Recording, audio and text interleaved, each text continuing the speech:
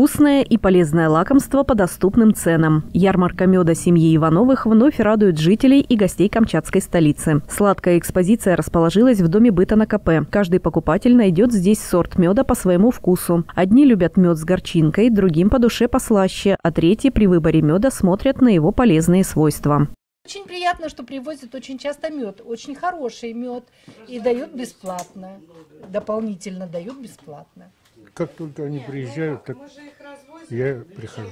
Мед очень разный, всегда много очень видов, э, разновидностей меда всякие. Дают пробовать и подарки хорошие. Часто покупаю, устраивает мед и цена. Советую многим, кто курит, за вместо сигареты берите мед ешьте. И не захочется курить.